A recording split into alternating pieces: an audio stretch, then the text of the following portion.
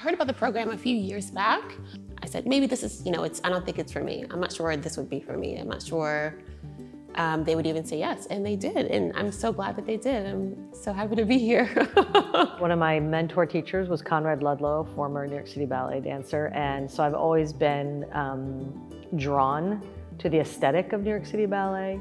Just the idea of coming to SAB and learn about the technique and learn about, you know, how Mr. Balanchine, you know, wanted um, the training. SAB was always a place where I did all my auditions. Um, I went to school across the street from SAB. I've had so many friends that have attended SAB and it's always an institution that I've always idolized. I saw the, about the fellowship program and it was probably before COVID. And I always wanted to apply and I didn't follow through. But then after COVID, I thought, if I don't try now, I will never try. I have friends who are former fellows that I admire greatly for what they do. And so I was encouraged to apply and I did. It's been a life-changing week for me, honestly. We've had the opportunity to um, observe a few teachers every day. Katrina Killian has been so generous with providing the syllabus and going over it and being patient, and then to watch the classes afterwards to reinforce what we've learned. And you see how the curriculum is applied and how and why it works is amazing as a teacher.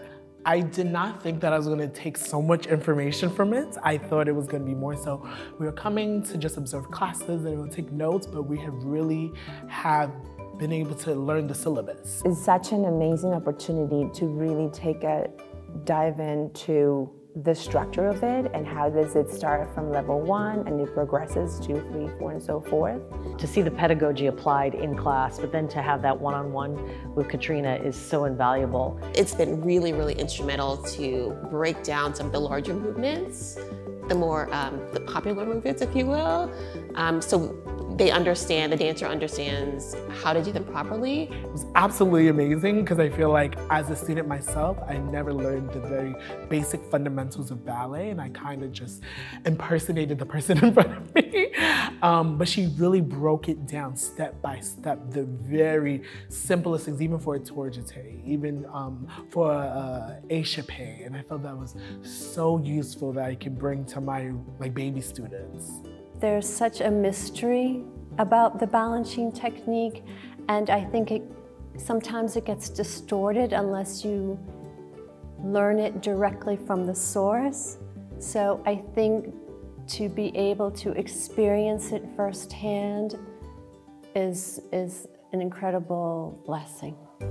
I feel empowered now, um, knowing, being able to say, I train with dancers that trained with Mr. Balanchine. To hear the stories from these legendary teachers about their times with Balanchine or on the stage doing these ballets is just priceless. And to hear the other teachers just simple things like show your jewelry, you know, it's just, it's just a dream for me.